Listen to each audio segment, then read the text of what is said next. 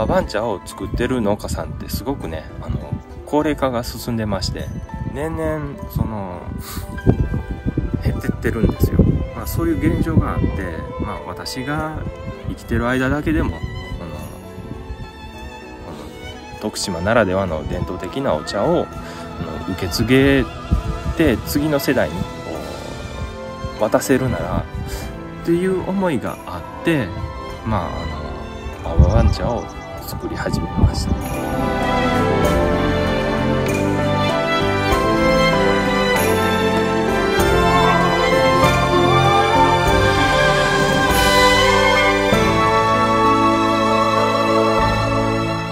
アーバン茶は徳島で1200年受け継いできた